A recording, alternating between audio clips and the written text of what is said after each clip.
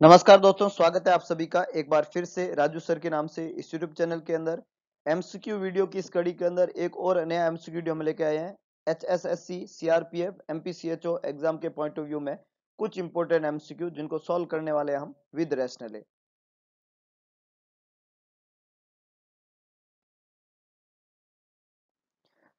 day of ovulation is ovulation का दिन कौन सा है?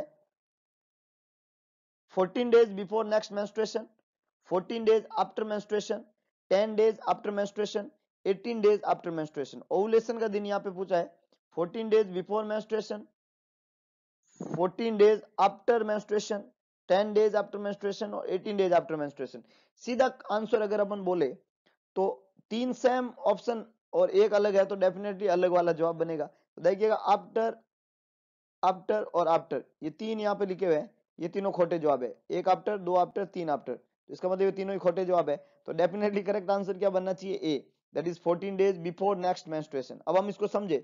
तो ओवुलेशन के बाद की जो फ़ेज़ होती है, उसको लूटियल फ़ेज़ कहते हैं। कौन सी फ़ेज़ लूटियल और मेंस्ट्रुअल साइकिल में लूटियल फ़ेज़ जो होती है, वो फिक्स होती है। और फिक्स कितने दिन की होती है? फिक्स 14 डेज़ की होती है। ओवुलेशन के बाद में एग्जैक्टली 14 दिन के बाद में मेंस्ट्रुएशन होगा। तो जो नेक्स्ट मेंस्ट्रुएशन है उसके एग्जैक्ट बिफोर चौदह दिन ओवुलेशन हो जाएगा, क्योंकि ओवुलेशन के एग्जैक्टली चौदह दिन बाद में अगला मेंस्ट्रुएशन आएगा। जैसे मान लो एक लेडी का मेंस्ट्रुअल साइकिल 28 दिन का है है ना? तो 28 में से 14 माइनस कर दो तो आपको पता चल जाएगा फोर्टीन डे को ओवुलेशन हुआ है, और फोर्टीन डे के एग्जैक्टली चौदह दिन बाद में अट्ठाईसवें दिन को नेक्स्ट मेंस्ट्रुएशन आएगा। अगर एक लेडी का मेंस्ट्रुअल साइकिल 35 डेज़ का है तो उसमें 14 माइनस कर दो तो पीछे बच जाएगा 21 तो 21वां दिन जो होएगा इक्कीसवां दिन, वो क्या रहेगा? ओवुलेशन का दिन है और 21 दिन के एग्जैक्टली 14 दिन बाद में नेक्स्ट मेंस्ट्रुएशन आएगा। तो ओवलेशन का जो दिन होता है, वो 14 दिन 14 डेज़ बिफोर होता है नेक्स्ट मेंस्ट्रुएशन के। इसलिए यहाँ पे करेक्ट आंसर क्या बनेगा? A that is 14 days before next menstruation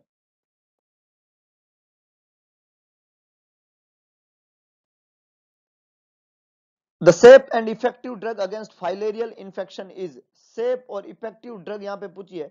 filarial infection के खिलाफ diethylcarbamazine rifampicin ofloxacin tetracycline चार ऑप्शन यहाँ पे दिए हुए बीमारी है लिम्पेटिक फाइलेरियसिस फाइलेरियल इन्फेक्शन या लिम्पेटिक फाइलेरियसिस जो कि कोज होती है एक पैरासाइट के द्वारा, जिसको हम नाम देते हैं डब्लू बैनक्रोप्टाई डब्लू का मतलब है यहाँ पे, वुच्चे रेचिया। वुच्चे रेचिया। उच्चे रेचिया। रेरिया, उच्चे रेरिया। मान क्रॉप्टी। ये कॉजेटिव ऑर्गेनिज्म है एक पैरासाइट है डब्लू वन क्रॉप्टी। ये फाइलेरियल डिज़ीज़ करता है और इसकी ड्रग ऑफ़ चॉइस जो होती है, वो डीईसी को मानी जाती है DEC that is diethylcarbamazine बिल्कुल करेक्ट आंसर है। ए मैक्सिमम लोगों ने सही आंसर यहाँ पे पुट किया है।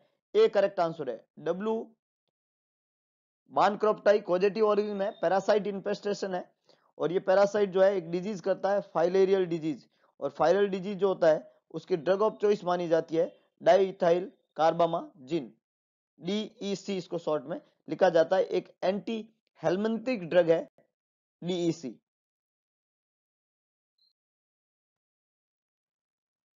H R T hormonal replacement therapy is contraindicated in hormonal replacement therapy जो है, वो किसमें कॉन्ट्रा इंडिकेटेड होती है, ये क्वेश्चन ने पूछा है। कौन सी कौन सी कंडीशन में ये कॉन्ट्रा इंडिकेटेड है? एथेरोस्क्लेरोसिस में ऑस्टियोपोरोसिस में यूरोजेनाइटल एट्रोपी के अंदर वीनस थ्रोम्बो एम्बोलिज्म के अंदर। तो देखिएगा, जो हार्मोनल रिप्लेसमेंट थेरेपी होती है hormonal replacement therapy hormonal replacement therapy का जो मोस्ट कॉमन साइड इफ़ेक्ट होता है कि वो दवाई जो होती है, हार्मोन जो होते हैं, हार्मोनल रिप्लेसमेंट थेरेपी जो होती है, ये बॉडी के अंदर थ्रोम्बोटिक कंडीशन करती है है ना? थ्रोम्बस फॉर्मेशन करती है। तो वो लेडी जिसके अंदर ऑलरेडी कोई वीनस थ्रोम्बो एम्बोलिज्म वाले प्रॉब्लम है, उसके अंदर हम हार्मोनल रिप्लेसमेंट थेरेपी जो है वो काम में नहीं लेते हैं। तो इसका कॉन्ट्रा इंडिकेशन रहता है वीनस थ्रोम्बो एम्बोलिज्म बिल्कुल करेक्ट है। मैक्सिमम लोग ठीक है। डी यहाँ पे करेक्ट आंसर बनेगा। Venous thromboembolism atherosclerosis osteoporosis और यूरोजेनाइटल एट्रोपी जो है, ये H R T that is hormonal replacement therapy जो है, इसके कॉन्ट्रा इंडिकेशन नहीं रहते हैं। तो D is the correct one venous thromboembolism the corpus luteum secretes corpus luteum ovulation के बाद में जो पीछे बचता है ना? जो मेच्योर ग्राफियन फॉलिकल होता है, वहाँ से वो, उससे ओवा रिलीज़ होता है। ओवा के रिलीज़ होने को ओवुलेशन कहते हैं। ल्यूटिनाइजिंग हार्मोन जो होता है, उसके इफ़ेक्ट से ओवुलेशन होता है। ओवुलेशन के बाद में जो पीछे बचता है, उसको कॉर्पस ल्यूटियम कहते हैं। कॉर्पस ल्यूटियम क्या सिक्रेट करता है, ये क्वेश्चन ने पूछा है? Oestrogen progesterone both and none चार ऑप्शन यहाँ पे दिए हुए हैं। तो देखिएगा कॉर्पस ल्यूटियम वैसे तो इंपॉर्टेंट है ल्यूटिनाइजिंग हार्मोन के इफ़ेक्ट से प्रोजेस्टोन का सिक्रीशन करता है। कॉर्पस ल्यूटियम जो होता है, वो ल्यूटिनाइजिंग हार्मोन के इफ़ेक्ट से प्रोजेस्टोन का सिक्रीशन करता है, लेकिन कॉर्पस ल्यूटियम कुछ अमाउंट में एस्ट्रोजन भी सिक्रेट करता है। तो कॉर्पस ल्यूटियम जो है यहाँ पे, दोनों हार्मोन बहुत एस्ट्रोजन एंड प्रोजेस्टोन जो है, उनके सिक्रेशन के लिए रेस्पॉन्सिबल है। तो करेक्ट आंसर है C that is both oestrogen and progesterone इन दोनों का सिक्रेशन करने में मदद करता है कॉर्पस ल्यूटियम क्वेश्चन है incubation period of mumps mumps का इंक्यूबेशन पीरियड कौन सा है? One week two to three week that is fourteen to twenty one days four week that is twenty eight days और four to five week that is twenty eight to thirty five days mumps का incubation period पूछा है, कितना होता है? दो बीमारी है जिनका इंक्यूबेशन पीरियड सेम रहता है। One is mumps and second one is rubella incubation period और सारी की सारी कम्युनिकेबल डिज़ीज़ जो है कि वीडियो लेक्चर अवेलेबल है तो आप प्ले लिस्ट में जाके कम्युनिकेबल डिज़ीज़ के वीडियो लेक्चर ज़रूर देखें। वहाँ सारी की सारी कम्युनिकेबल डिज़ीज़ उसमें positive organism spreading period of communicability ये सारा वहाँ पे डिफाइन है और सबके इंक्यूबेशन पीरियड है। तो मम्स का जो इंक्यूबेशन पीरियड होता है, वो होता है two to three weeks that is fourteen to twenty days तो करेक्ट आंसर यहाँ पे क्या रहेगा? बी मम्स जो एक बीमारी है, इसका इंक्यूबेशन पीरियड है 14 टू 21 डेज़ मम्स के अलावा एक बीमारी है रूबेला रूबेला का इंक्यूबेशन पीरियड भी 14 टू 21 डेज़ है। मम्स जो बीमारी है, इसका पॉजिटिव ऑर्गन जो है वो मिक्सो वायरस होता है है ना? मिक्सो वायरस इस बीमारी को मिक्सो वायरस पेरोटीडाइटिस कहते हैं। पेरोटिड ग्लैंड जो होता है, उसका स्वेलिंग होना पेरोटीडाइटिस कहलाता है। तो myxovirus parotitis is the inflammation of parotitis is the inflammation of parotid gland और मिक्सो वायरस इसका पॉजिटिव ऑरिजिन है। मिक्सो वायरस एक आरएनए वायरस है। मिक्सो वायरस कैसा वायरस है? आरएनए वायरस है। एयर ड्रॉपलेट के द्वारा ये फैलता है। एक से दूसरे में कम्युनिकेट होता है एयर ड्रॉपलेट से। इसका जो पीरियड ऑफ़ कम्युनिकेबिलिटी है, वो होता है four to six days before four to six days before and seven days after seven days after four to six days before and seven days after चार से छह दिन पहले से लेके सात दिन बाद तक। और किसके सात दिन बाद तक? पेरोटिड ग्लैंड के स्वेलिंग होने के सात दिन बाद तक। तो पेरोटिड ग्लैंड के स्वेलिंग होने के चार से छह दिन पहले से सात दिन बाद तक ये कम्युनिकेट हो सकता है एक आदमी से दूसरे आदमी में। एक और इंपॉर्टेंट सवाल बनता है, जो मोस्ट कॉमन कॉम्प्लिकेशन होता है मम्स का जो मोस्ट कॉमन कॉम्प्लिकेशन होता है, वो कौन सा होता है? एसेप्टिक मैनिंजाइटिस कौन सा होता है? एसेप्टिक मैनिंजाइटिस यंग बच्चों के अंदर मम्स का मोस्ट कॉमन कॉम्प्लिकेशन जो होता है, वो होता है aseptic meningitis is the most common complication of mumps in young children और जो एडोलसेंट होते हैं, उनमें मम्स का मोस्ट कॉमन कॉम्प्लिकेशन जो होता है एडोलसेंट में। एडोलसेंट के अंदर मोस्ट कॉमन कॉम्प्लिकेशन मम्स का मेल के अंदर होता है ओरकाइटिस और फीमेल के अंदर होता है उफराइटिस मेल के अंदर ओरकाइटिस और फीमेल के अंदर उफराइटिस ये मोस्ट कॉमन कॉम्प्लिकेशन होता है यंग बच्चों के अंदर एडोलसेंट बच्चों के अंदर मम्स का। यंग के अंदर एसेप्टिक मेनिंजाइटिस एडोलसेंट एज के अंदर ओरकाइटिस एंड ओपराइटिस, ये सारी कहानी रहती है मम्स के बारे में। सभी क्वेश्चन एग्ज़ाम में बने हुए इंक्यूबेशन पीरियड पूछा जाए तो two to three weeks that is fourteen to twenty one days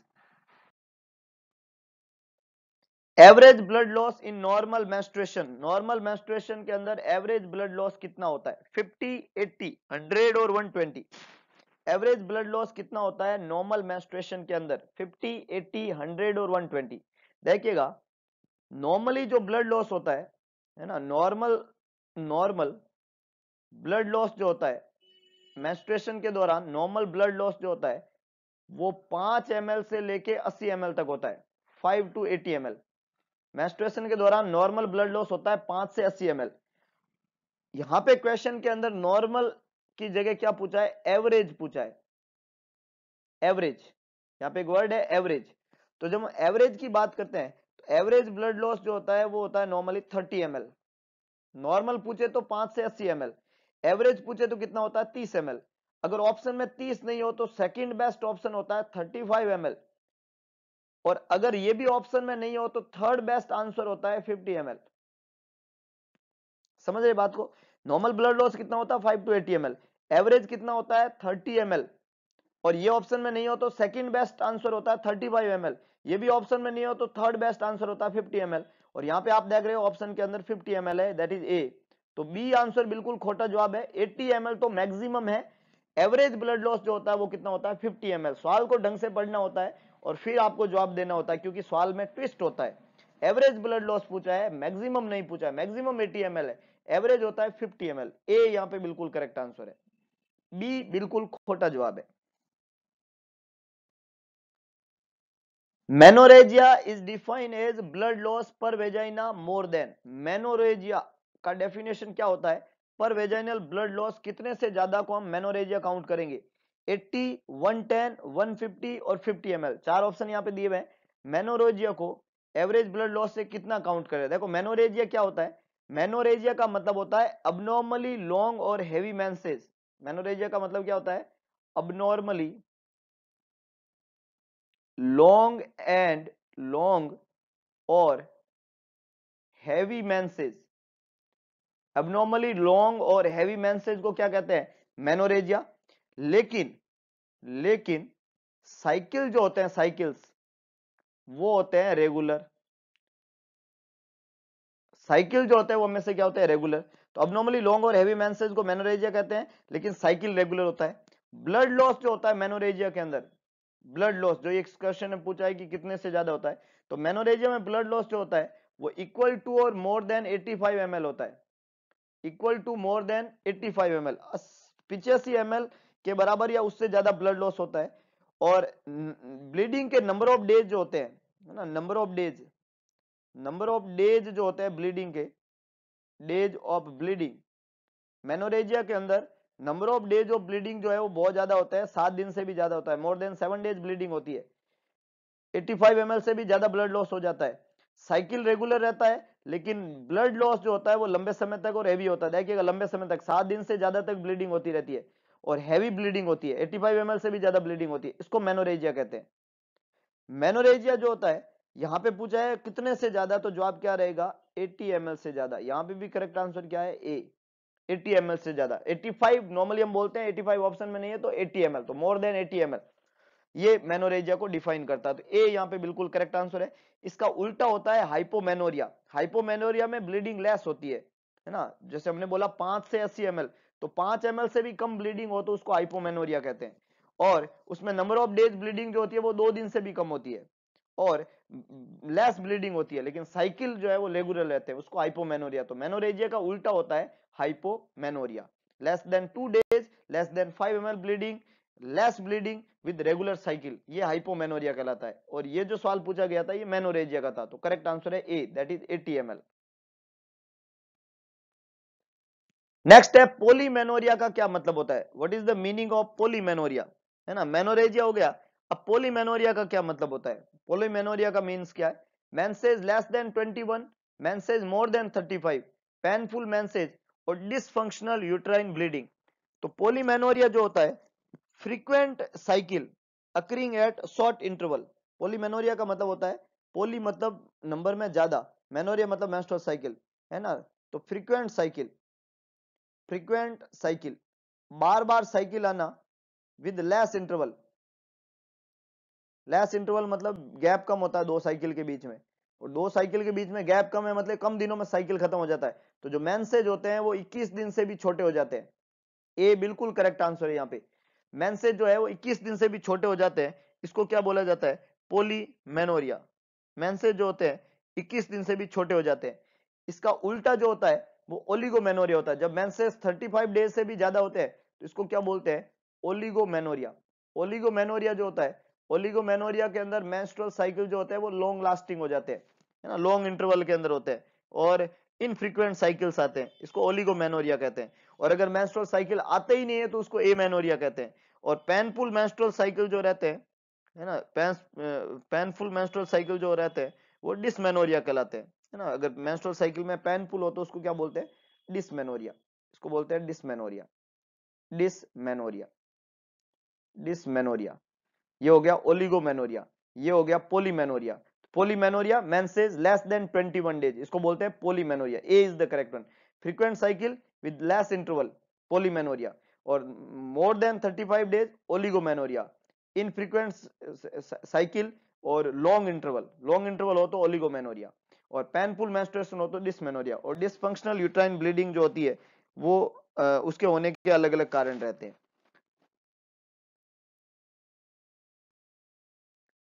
next question है Pearl's index indicate. Pearl index जो होती है, वो क्या इंडिकेट करती है? ऑप्शन है यहाँ पे, माल न्यूट्रिशन को। सेकंड ऑप्शन है, पॉपुलेशन को। थर्ड ऑप्शन है, कॉन्ट्रासेप्टिव फेलियर को। और फोर्थ ऑप्शन यहाँ पे दिया हुआ है, लो बर्थ वेट को। चार ऑप्शन यहाँ पे दिए हुए हैं। क्वेश्चन है, आपको पूछा है कि जो पर्ल इंडेक्स है, वो किसको इंडिकेट करती है? बहुत अच्छे, बहुत बढ़िया। मैक्सिमम पीपल ने यहाँ पे करेक्ट आंसर दिया है। पर्ल इंडेक्स जो होती है कॉन्ट्रासेप्टिव फेलियर का इंडिकेशन है, बिल्कुल सही है।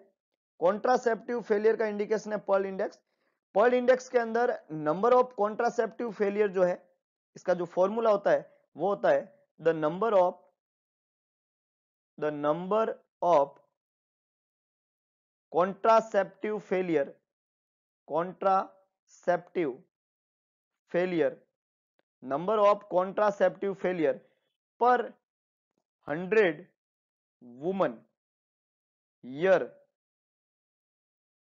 of exposure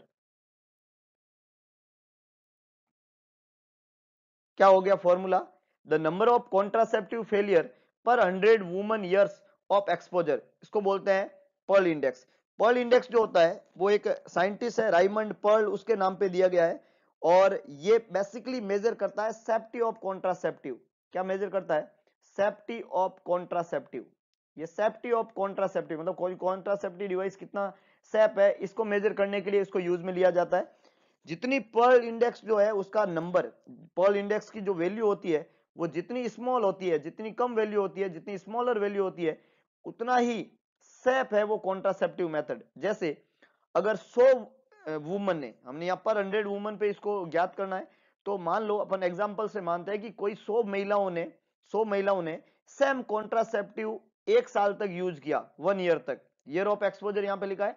तो सो वुमन ने कोई भी एक सेम कॉन्ट्रासेप्टिव मेथड मान लो इंट्रायूट्राइन डिवाइस है आईयूडी है है ना, या कॉन्डोम है सेम कॉन्ट्रासेप्टिव डिवाइस 100 वुमन ने एक साल तक यूज़ किया, सो वुमन ने सेम कॉन्ट्रासेप्टिव एक साल तक यूज़ किया, और उनमें से अगर तीन वुमन जो है, तीन लेडी जो है, उनको प्रेगनेंसी हो गई। है ना, तीन प्रेगनेंसी हो गई। सौ वुमन ने एक साल तक सेम कॉन्ट्रासेप्टिव यूज़ किया और उनमें से तीन वुमन को क्या हो गई? प्रेगनेंसी हो गई। तो पर्ल इंडेक्स का वैल्यू कितना आ गया? थ्री मतलब उन तीन में कॉन्ट्रासेप्टिव फेलियर हो गया। तो उसकी वैल्यू है तीन। तो जितनी स्मॉल वैल्यू है, उतना वो कॉन्ट्रासेप्टिव मेथड जो है वो इफ़ेक्टिव है। ये मतलब होता है पर्ल इंडेक्स का। तो सी यहाँ पे करेक्ट आंसर है। World AIDS day is celebrated every year. आज के सेशन का सबसे easy question world AIDS day कब सेलिब्रेट किया जाता है? ग्यारह जुलाई, एक दिसंबर, सात अप्रैल, पाँच जून। कौन सी तारीख को वर्ल्ड एड्स डे सेलिब्रेट किया जाता है? बहुत बढ़िया। मैक्सिमम पीपल आर करेक्ट इस दिसंबर फ़र्स्ट है ना? फ़र्स्ट दिसंबर जो अभी आने वाला है, वर्ल्ड एड्स डे के रूप में सेलिब्रेट किया जाता है। एक दिसंबर को वर्ल्ड एड्स डे के रूप में सेलिब्रेट करते हैं, एक दिसंबर को। ग्यारह जुलाई जो होती है, इसको वर्ल्ड पॉपुलेशन डे के रूप में सेलिब्रेट करते हैं, है ना? World population day. World population day किसको माना जाता है? 11 जुलाई को, वर्ल्ड पॉपुलेशन डे। सात अप्रैल जो होता है, ये वर्ल्ड हेल्थ डे, इसको क्या मनाया जाता है? World health day. पाँच जून जो होती है, इसको वर्ल्ड इसको वर्ल्ड एनवायरमेंट डे। कौन सा डे? चारों ही डे है, कुछ ना कुछ डे है। हमें कौन सा डे पूछा है? एड्स वर्ल्ड एड्स डे तो वर्ल्ड एड्स डे तो एक दिसंबर। वर्ल्ड पॉपुलेशन डे 11 जुलाई। वर्ल्ड हेल्थ डे सात अप्रैल। और वर्ल्ड एनवायरमेंट डे पाँच जून को सेलिब्रेट किया जाता है। तो करेक्ट आंसर बनेगा B first December. First course of oral contraceptive should be started in which day of menstruation oral contraceptive का पहला कोर्स जो होता है, फ़र्स्ट कोर्स मेस्ट्रेशन के कौन से दिन पे शुरुआत कर देना चाहिए? First course of oral contraceptive should be started in which day of menstruation fifth seventh third ninth चार ऑप्शन यहाँ पे दिए हुए कौन से दिन पे स्टार्ट कर देना चाहिए? बहुत बढ़िया। मैक्सिमम पीपल आर करेक्ट पाँचवें दिन पे फिफ्थ डे पे। ए बिल्कुल करेक्ट आंसर है। फ़र्स्ट कोर्स जो होता है ओरल कॉन्ट्रासेप्टिव का, वो मेंस्ट्रुएशन के फिफ्थ डे पे स्टार्ट कर देना होता है और किस दिन तक ये चलता है। मेंस्ट्रुएशन के फिफ्थ डे पे इसको स्टार्ट कर दिया जाता है। A is the correct one H one N one swine flu infection जो होता है एच वन एन वन उसकी स्प्रेडिंग जो होती है वो किसके थ्रू होती है? एच वन एन वन जो स्वाइन फ्लू है स्वाइन फ्लू बोलते हैं एच वन एन वन बीमारी का नाम है स्वाइन फ्लू स्वाइन फ्लू जो होती है, इसकी स्प्रेडिंग किससे होती है? कंटामिनेटेड वाटर कंटामिनेटेड वाटर से स्वाइन फ्लू नहीं होता है, ये वायरल डिज़ीज़ है।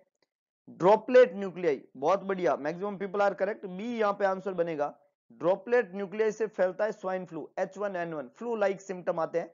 कंटामिनेटेड फ्रूट एंड वेजिटेबल और infected vector mosquito A C or D खोटे जवाब है। बी बिल्कुल करेक्ट आंसर है। ड्रॉपलेट न्यूक्लियाई रेस्पिरेटरी पाथवे के द्वारा ड्रॉपलेट न्यूक्लियाई से स्वाइन फ्लू की स्प्रेडिंग होती है। H one N one which of the following is true about ambulatory surgery एक सर्जरी है जिसका नाम लिखा हुआ यहाँ पे एम्बुलेटरी सर्जरी क्वेश्चन ने पूछा है, कौन सी चीज़ एम्बुलेटरी सर्जरी के बारे में सही है? ट्रू है। इनमें से कौन सी चीज़ एम्बुलेटरी सर्जरी के बारे में ट्रू है? पहला लिखा हुआ is does not require an overnight hospital stay की ज़रूरत नहीं है। It must be carried out at once और इमीडिएटली टू सेव लाइफ हाथों हाथ करनी होती है और तुरंत कैरिड आउट करनी होती है जान बचाने के लिए। It does not imply any urgency इसमें किसी तरह की अर्जेंसी नहीं होती है। It must be carried out as soon as possible within a specific time after diagnosis diagnosis करने के कुछ एक स्पेसिफिक टाइम पीरियड के बीच में इसको कैरिड आउट करना होता है। तो एम्बुलेटरी सर्जरी का मतलब होता है ऐसी सर्जरी जिसमें हॉस्पिटल स्टे की ज़रूरत नहीं होती है। बिल्कुल करेक्ट ए यहाँ पे करेक्ट आंसर बनेगा। ऐसी सर्जरी जिसमें रिक्वायरमेंट नहीं होती है ओवरनाइट हॉस्पिटल स्टे की। ऐसी सर्जरी जिसमें ओवरनाइट हॉस्पिटल स्टे की रिक्वायरमेंट नहीं होती है, उसको एम्बुलेटरी सर्जरी के नाम से जाना जाता है।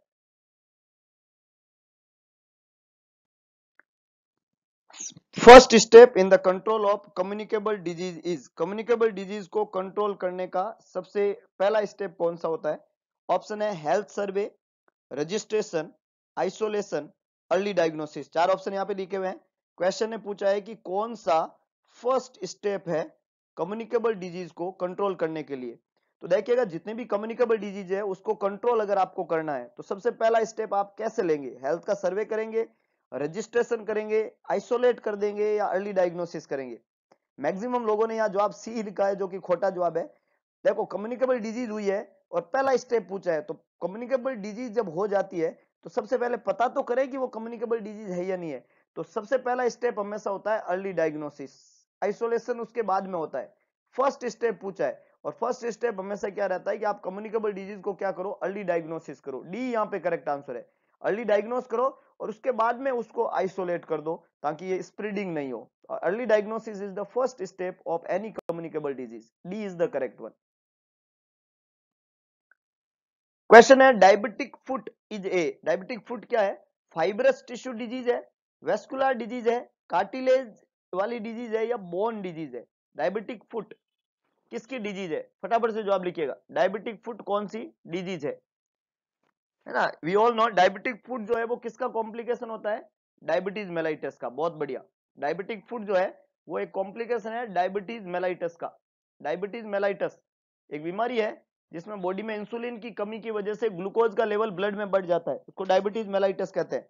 और डायबिटीज़ मेलाइटस का एक कॉम्प्लिकेशन है डायबिटिक फुट और ये डायबिटिक फुट क्यों होता है? इसके होने का रीजन होता है due to microvascular injury due to microvascular लगातार ब्लड ग्लूकोज का लेवल ज़्यादा रहने की वजह से ब्लड में ग्लूकोज का लेवल लगातार ज़्यादा रहने की वजह से माइक्रोवेस्कुलर इंजुरी होती है। और ड्यू टू माइक्रोवेस्कुलर इंजुरी वहाँ पे जो है लंबे समय तक क्रॉनिक पीरियड तक ब्लड ग्लूकोज के लेवल के बहुत ज़्यादा रहने की वजह से माइक्रोवेस्कुलर इंजुरी होती है और माइक्रोवेस्कुलर इंजुरी होने की वजह से डायबिटिक फुट होता है। तो यहाँ पे एक वर्ड लिखा है, वेस्कुलर इंजुरी। इसका मतलब डायबिटिक फुट किसकी बीमारी है? वेस्कुलर डिज़ीज़ है।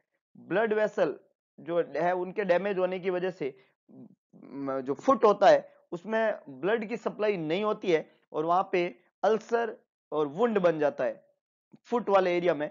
इस बीमारी को नाम देते हैं डायबिटिक फुट। तो करेक्ट आंसर यह क्या बनेगा? B, diabetes foot is a complication of diabetic mellitus it occur due to the microvascular injury है ना? माइक्रोवेस्कुलर इंजुरी और वो क्यों होती है?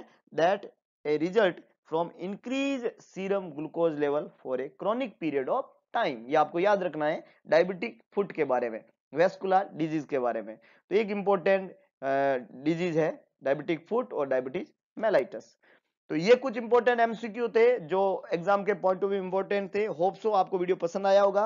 अगर वीडियो पसंद आए तो वीडियो को लाइक करें, वीडियो को शेयर करें और इस चैनल को मैक्सिमम लोगों तक पहुँचाने की ज़िम्मेदारी उठाए, क्योंकि भगवान कृष्ण ने कहा था कि सारथी बने, स्वार्थी ना बने। तो देखते हैं आप कितना सारथी बनते हैं, कितने लोगों की मदद कर पाते हैं, और जितने लोगों की मदद करेंगे, उतना मेरे हिसाब से जो है लौट के वो दुआएँ आप तक पहुंचेगी और आप ज़िंदगी में एक अच्छे मुकाम पे होंगे। इसी आशा के साथ में आज के वीडियो को यही विराम देते हैं। मिलते हैं दोबारा। नई एनर्जी, नई ताकत के साथ में, तब तक के लिए जय हिंद, जय भारत।